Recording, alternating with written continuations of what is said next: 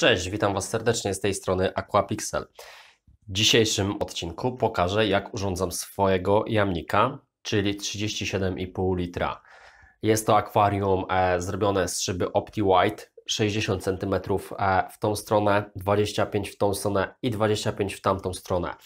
Poprzednim odcinku pokazywałem, jak wykleić e, tylnią szybę e, czarną folią, po to, żeby fajnie wyciągnąć głębie zieleni naszych e, roślin. Jeżeli już jesteśmy przy roślinach, co tu będziemy mieć? Będziemy mieć staurogynę portobello. To co mówiłem, że staurogynę repens niestety, ale mi zgniła in vitro w kubeczku.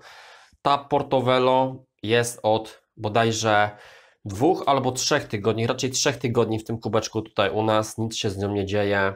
Jest fajnie, wręcz rośnie tak, że e, wypycha już górne wieczko. Tutaj mamy e, Micrantenum Monte Carlo. Faktycznie ono już zaczyna troszeczkę e, przygniwać, ale z tej strony ładnie wygląda, więc będziemy mieć jeszcze dużo do wyciągnięcia z tego Micrantenum. To Micrantenum u nas jest już 5 tygodni w kubeczku, więc no ma prawo.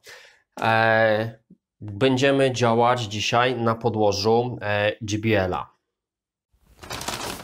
Podłoże GPL-a ma na do e, pierwszy raz będę startować e, na podłożu aktywnym. E, pierwsze co, no to trzeba było wypukać to podłoże, ponieważ ono ma bardzo dużo różnego rodzaju pyłu w sobie i tak dalej, więc przesypane półworka do miski, wypukane pod prysznicem, tak żeby opukać z tego osadu.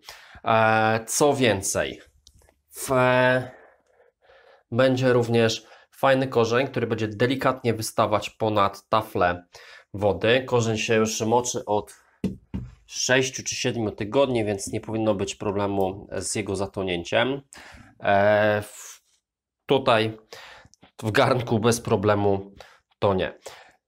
Oprócz tego, e, co powiedziałem, że baniak 37,5 litra, szafka, nie będziemy komentować jaka to jest. Jest płyta meblowa wzmacniająca, pod którą też jest E, pianka, panel podkładowy pod panele podłogowe, plus dodatkowy podkład jeszcze pod akwarium, po to, żeby ustabilizować, żeby nie było różnego rodzaju naprężeń e, na szybę, żebym nie miał obaw, że mi to pęknie. Dobra, ja zabieram się do aranżacji mojego akwarium. Zobaczycie to w przyspieszonym tempie. Zapraszam.